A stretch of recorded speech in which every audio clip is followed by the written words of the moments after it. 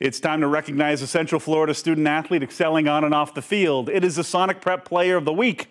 Tonight we're talking hoops with Jaloni Cambridge of Montverde Academy. She is a senior point guard for the Eagles and does a little bit of everything. Jaloni averages 20 points, 8 assists, and 7 rebounds a game for the national powerhouse. Jaloni recently committed to play collegiately at Ohio State, and she says Montverde feels like a second home since she transferred from her native Tennessee last year.